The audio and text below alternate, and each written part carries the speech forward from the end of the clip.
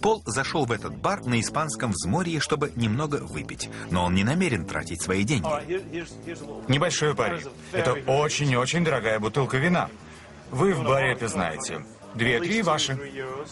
Как минимум. А почем вы ее продаете? За 8,50. 8,50? В самом деле?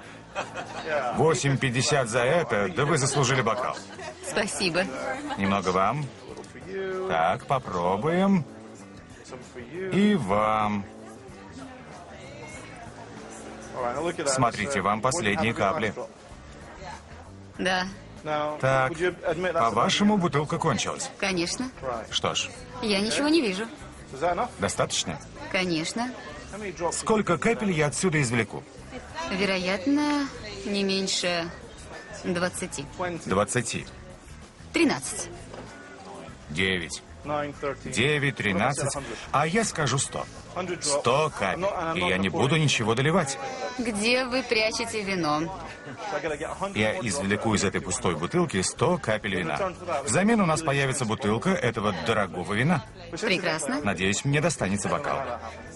Прекрасного, Карлос. Вы покупаете? Идет. Отлично.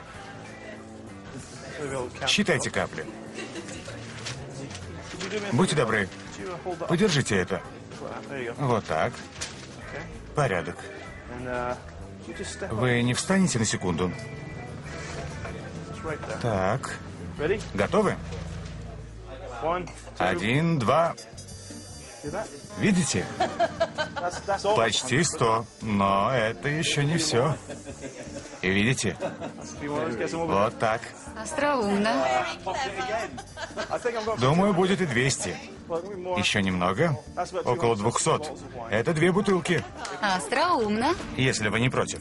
Это пари казалось бессмысленным. И тем не менее, даже после того, как Пол вроде бы опустошил бутылку до последней капли, вина в ней хватило на сто с лишним крошечных капель. Потребовалось лишь одно резкое движение.